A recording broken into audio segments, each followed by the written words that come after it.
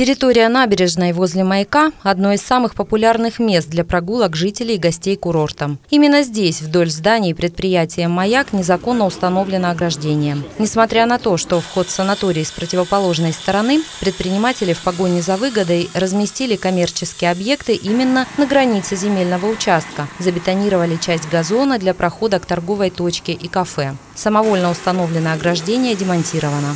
Управление муниципального контроля демонтировано металлическое ограждение по адресу улица Кирова 2 в районе Маяка, за счет чего увеличена зеленая зона по набережной.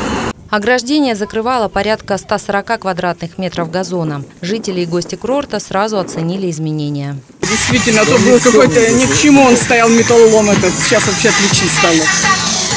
Хорошо, вообще бесподобно. Еще зеленью засадить и вообще будет прелесть. Зеленая зона будет восстановлена. На месте старого массивного забора установят легкое современное ограждение.